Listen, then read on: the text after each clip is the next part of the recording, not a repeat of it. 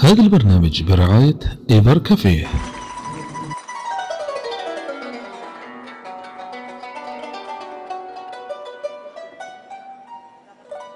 أسعد الله أوقاتكم. اليوم سؤالنا شوي غريب وأكثر جدلية في تاريخ البشرية. هل الأرض كروية أو مسطحة؟ وما موقف الإسلام وعلماء المسلمين من هذا الموضوع؟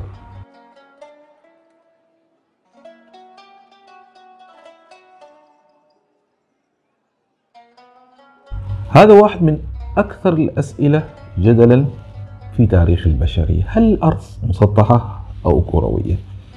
الغريب أنه فكرة الأرض المسطحة غابت وظهرت مرة أخرى في القرن التاسع عشر.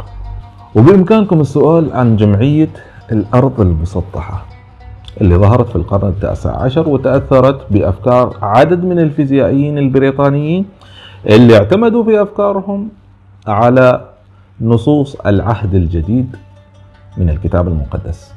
أما عن أقوال علماء وفقهاء المسلمين فهي كثيرة تؤيد كروية الأرض وليس سطحية الأرض. وعلى فكرة 2% من سكان الولايات المتحدة الأمريكية لا زال يعتقدون أن الأرض مسطحة وليس كروية.